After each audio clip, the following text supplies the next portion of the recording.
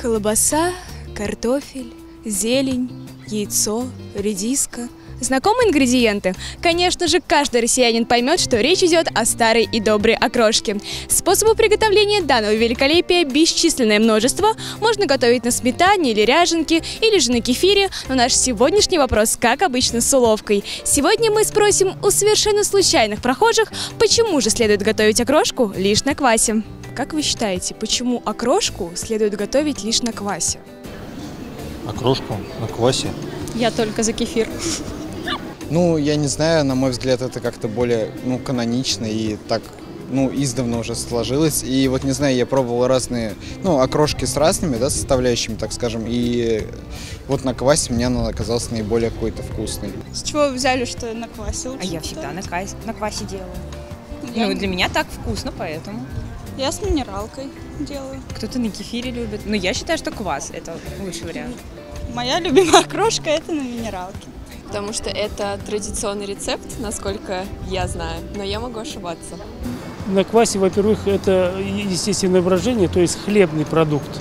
А потом он этот э, полезный, сытный и очень это приятный, особенно вот в такую погоду. потому что квас истинно русский напиток. И мне кажется, окрошка самая вкусная на квасе. Не, я еще понимаю на кефире. Там есть особый вкус, он такой сливочный, А там молочный. вкус не нужен. Вокруг- А что в еде Нет. нужно? Потому что это блюдо летнее, а квас, как полагается, как полагается квас у нас относится к летнему напитку, к такому, то, что везде по улицам разливают, везде стоят бочки с квасом. Как бы окрошка, это, это у нас оливье, только на квасе. Ну, это прям по кайфу такое. Освежает. В холо... Когда жарко. Летняя еда, поэтому я согласен.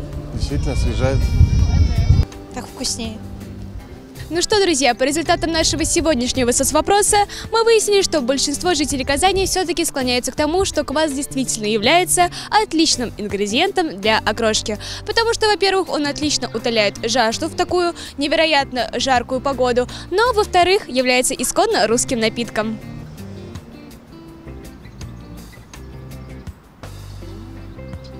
Хм, неплохо. Пейте квас и будьте счастливы. Это был соцвопрос, и с вами была Надежда Мещерякова. Всем пока!